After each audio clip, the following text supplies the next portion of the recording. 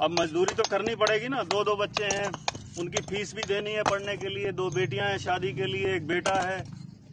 एक भी गोली भी नहीं देने के लिए हमारे पास पैसा नहीं है। पैंसठ सौ रुपए सैलरी मेरे को पेंशन दे रही है। अब पैंसठ सौ रुपए में पेट भरें या बच्चों को पढ़ाएँ?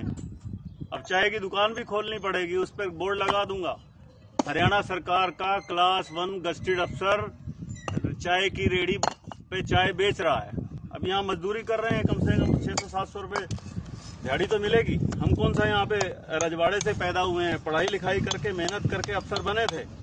लेकिन सरकार ने जहाँ से शुरुआत करी थी, वहीं पे हमने वहीं पहुँचा दिया इसने। और ये बीजेपी की सरकार जो है, ये सिर्फ़ पूंजीपतियों के खाते भरने के लिए है। खट्टर साहब बोलते हैं, मैंने बड़ी लावणी करी है, बड़ी ये करी है, जरा कदे पेंशन छोड़ेगा क्या? हरियाणा राज्य की इसको उसको इतनी चिंता है हरियाणा राज्य की उसको चिंता है कि 2030 तक दिवालिया हो जाएगा और अभी बोल रहे हैं पिछले तीन महीने में हरियाणा ने पचहत्तर सौ करोड़ रुपया जीएसटी का इकट्ठा किया है। एक तरफ़ से तो दिखाते हैं कि हमारे पास बहुत सारा पैसा है और दूसरी तरफ़ दिखाते हैं कि हम दिवालिया होने जा रहे हैं। ये दो दो स्टेटमेंट क्या है?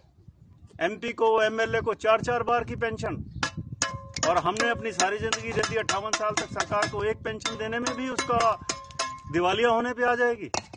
ये बीजेपी के नए कंसेप्ट आ गए हैं।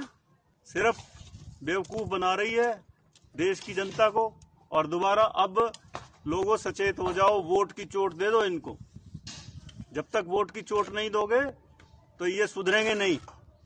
कांग्रेस तो इससे लाख दर्जे अच्छे है। कम से कम मुलाजमों के ऊपर उन्होंने अपना हथौड़ा तो नहीं चलाया, अपनी तिजोरियाँ भर लो। और देश के नागरिकों को कर दो कमज़ोर। हमने जहाँ से ज़िंदगी शुरुआत करी थी, वहीं पे आके पहुँच गए। अब क्लास वन गस्टेड अफसर है, या बुढ़ापे में वकालत करेंगे तो वकालत करने में तो दस साल दोबारा फिर शुरुआत करनी पड़ेगी वहीं से। पैंसठ सौ रुपए में अगर मैं बीमार हो गया तो इन्होंने आयुष में आयुष्मान में भी नहीं आएँगे हम तो। पीले कार्ड भी नहीं बनेंगे हमारे तो। हम कहा जाएँ? तो